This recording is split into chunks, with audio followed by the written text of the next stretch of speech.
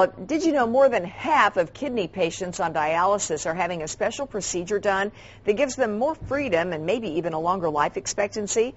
A campaign is trying to make even more patients aware of this process. Covering medicine tonight, we meet a local woman who's benefiting in a big way.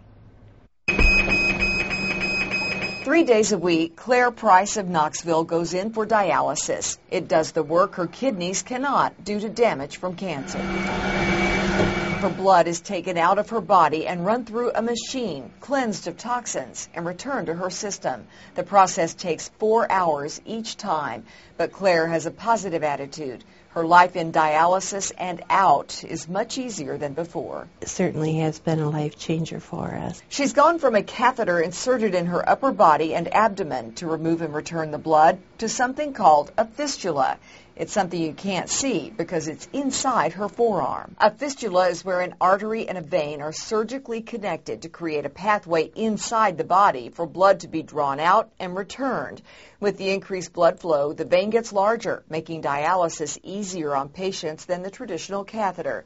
So much easier that Clare, a longtime employee of Kimberly Clark, can do some of her work while in dialysis. I can still work from my chair. I um, often have conference calls, work conference calls at while I'm dialyzing. Dr. Donald Akers of Premier Vascular Access and Imaging Center in Knoxville is part of an effort to create more awareness in kidney patients about the benefits and realities of fistulas.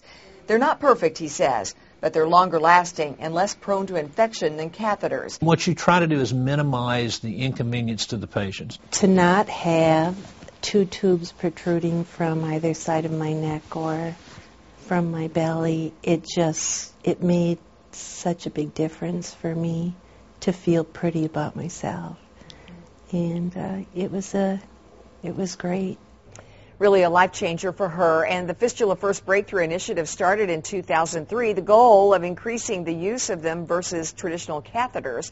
Dr. Akers says nearly 58% of dialysis patients now have surgery to create the fistula. That's a 25% increase since the beginning of the campaign. To learn more about this, just go to WATE.com.